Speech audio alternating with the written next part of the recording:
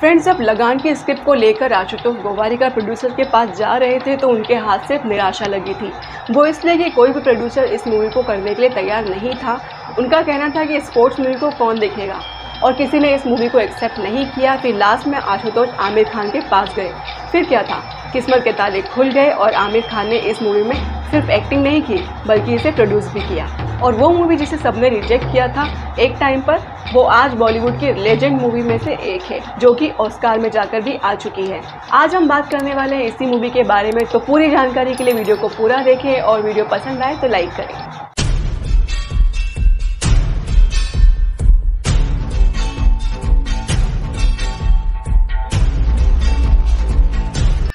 लगान 2001 में बनी हिंदी बॉलीवुड मूवी है, जिसको 15 जून 2001 को रिलीज़ किया गया था और इस मूवी को 20 साल पूरे हो चुके हैं। तो आज मैं बात करने वाली हूँ इस मूवी के रिव्यू के बारे में और कास्ट के बारे में। फ्रेंड्स इस मूवी को आई पर 8.1 आउट ऑफ़ 10 की रेटिंग मिली हुई है। इस मूवी को डायरेक्ट किया है आशुतोष गोवारिकर ने और प्रोड्यूस किया है आमिर खान ने। वहीं डायलॉग के पी सक्सेना ने लिखे हैं और जो इंग्लिश डायलॉग है वो आशुतोष गोवारिकर ने लिखे हैं। और म्यूज़िक की बात करें तो वो दिया है ए आर रहमान ने।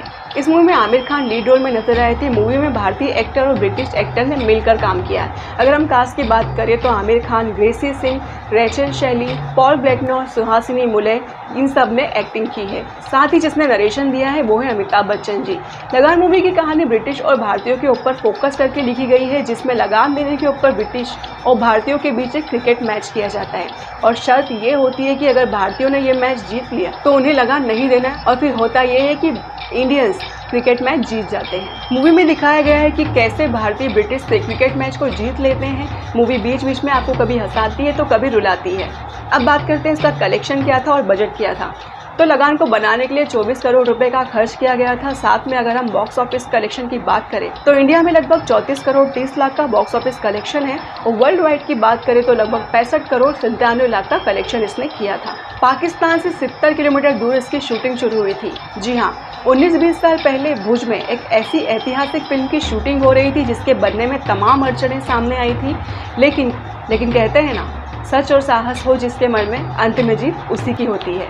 और ये जीत थी आमिर खान और आशुतोष गोवारीकर, कुछ मुट्ठी भर ग्रामीणों के हौसलों की जीत। सिनेमा की कठिन यात्रा पूरी हो जाने की जीत।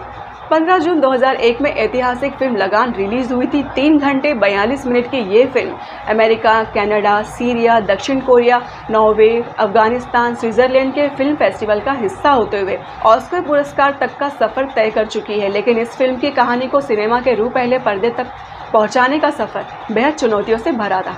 इस फ़िल्म के ज़रिए आमिर खान ने प्रोड्यूसर तक बनने का फैसला किया था, क्योंकि इस जोखिम भरी फ़िल्म को कोई भी प्रोड्यूस नहीं करना चाहता था। पहली बार कहानी सुनने पर तो आमिर ने भी इस फ़िल्म में कोई भरोसा नहीं जताया। हालाँकि कुछ महीनों बाद जब एक बार फिर आशुतोष गोवारीकर ने इस फ़िल्म की कहानी सुनाई तो आमिर खान काफ़ी इमोशनल हो गए थे और माता पिता से सहमति मिलने के बाद आमिर ने खुद इसे प्रोड्यूस करने का फैसला किया। गुजरात में आए खतरनाक भूकंप से भुज का एक हिस्सा बंजर था। 50 डिग्री की भीषण गर्मी थी। इंफ्रास्ट्रक्चर की कमी और रेतीली हवाओं के चलते फ़िल्म को शूट करना आसान नहीं था। इस फ़िल्म की मेकिंग के दौरान आशुतोष घायल भी हो गए थे और उन्होंने कई दिन सेट पर लेटे लेटे ही डायरेक्शन का काम किया था। कमान संभाली थी।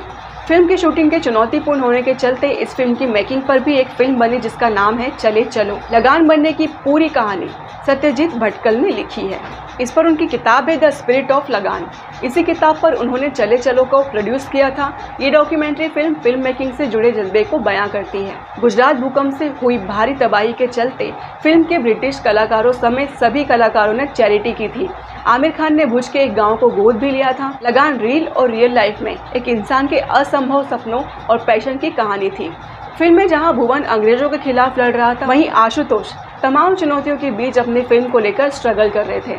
आमिर खान और ग्रेसी सिंह स्टारर लगान को 20 साल पूरे हो चुके हैं। आशुतोष की ये फ़िल्म आमिर के फिल्मी करियर की बेस्ट फ़िल्मों में एक साबित हुई थी। लेकिन एक वक्त ऐसा भी था, जब इस फ़िल्म को कोई भी नहीं करना चाहता था। एक इंटरव्यू में उन्होंने इस बात का खुलासा करते हुए कहा था कि जब शुरुआत में आशुतोष लगान की स्टोरी लेकर आए थे, तब पाँच मिनट सुनने के बाद मैंने मना कर दिया था।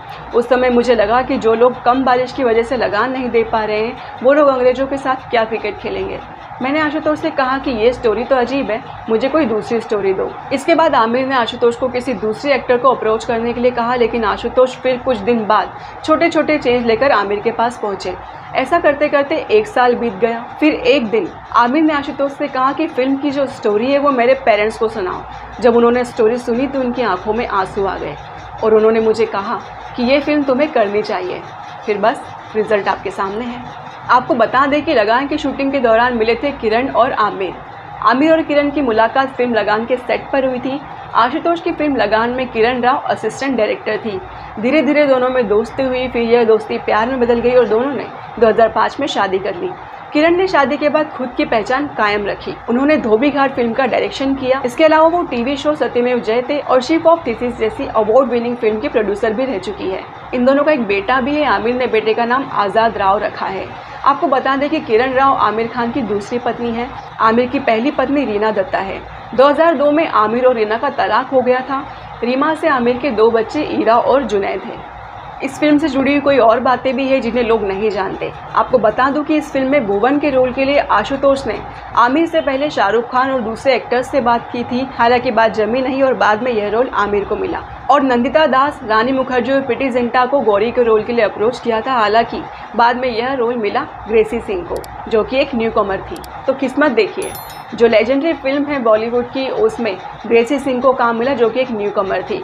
बड़ी बड़ी एक्ट्रेस इस फ़िल्म से हाथ धो बैठी और इस फ़िल्म का अब मुकाम क्या है, ये तो आप सब लोग बहुत अच्छे से जानते हैं। इस फ़िल्म में आपको बेहद इमोशन देखने को मिलता है कहीं कहीं रोना आ जाता है और जब भी क्रिकेट का मैच चल रहा होता है ना, तब आपकी आँखों से आँसू भी आ जाते हैं। मतलब ये जो मूवी है, पूरी तरीके से हमारे दिल में देशभक्ति को ज़िंदा कर देती है। आई होप आप सभी ने ये मूवी देखी होगी, लेकिन जिन्होंने नहीं देखी है, जिन्होंने एक परसेंट लोग भी है, जिन्होंने मिस कर दिया होना इस मूवी को, वो ज़रूर देखें। तो फ्रेंड्स यही थी लगान से जुड़ी हुई कुछ बातें जो मुझे आपसे शेयर करनी थी। आई होप आपको मेरा वीडियो पसंद आया होगा। वीडियो पसंद आया हो तो लाइक कर दें।